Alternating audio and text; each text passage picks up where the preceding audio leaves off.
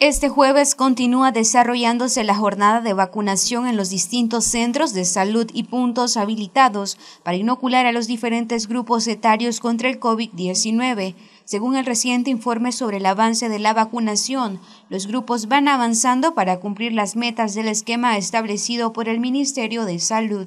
Informando sobre el cumplimiento que llevamos en la vacunación para hermanas embarazadas, puérperas, lactantes, también los niños de 2 a 11 años.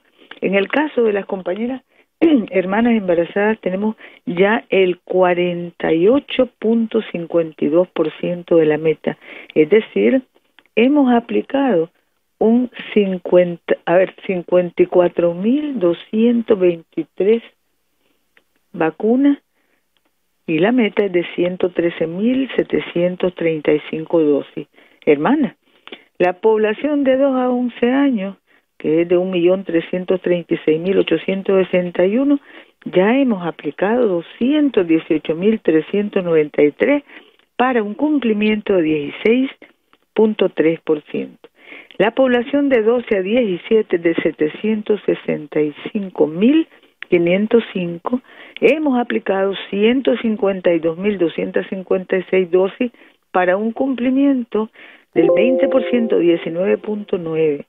De 18 a 29, la población meta es 1.440.785 y hemos aplicado 285.863 Sputnik Light para un cumplimiento del 19.84%. Mayores de 30 años somos 2.861.000 373 y sumando todas las vacunas que se han aplicado, Covishield, AstraZeneca, Sputnik V, más las 18.933 Sputnik Light que venimos aplicando, tenemos ya una cobertura de 58.6 en este rango de edad, mayores de 30 años.